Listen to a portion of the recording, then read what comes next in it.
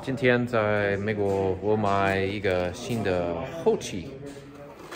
Alright, uh, so I picked up a new toy today.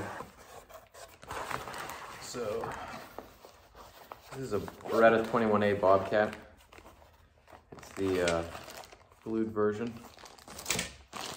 Tiny little guy. So there it is. And I mainly got it as a host for my suppressor. I wanted something a little bit smaller. I realized the can's a little bit long. It's a uh, LCW. This, this is old. I've had this 15 years.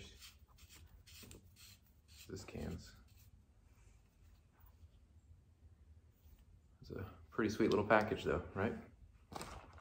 Let's go put some of these subsonic 22 bullets through it. See how it sounds. All right, so there's the there's the pistol, and here's the ammo that I'm gonna fire through it.